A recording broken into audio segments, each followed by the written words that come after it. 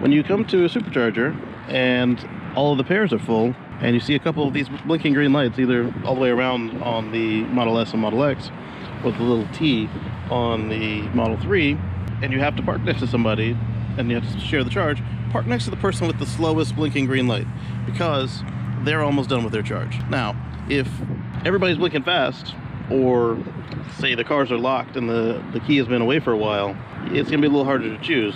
But like, if I were arriving at the station today and I saw my car and the blue one and the Model S, I would park next to the blue one because it is blinking slower. It's almost done charging, whereas my car and the Model S are still pretty early in the cycle.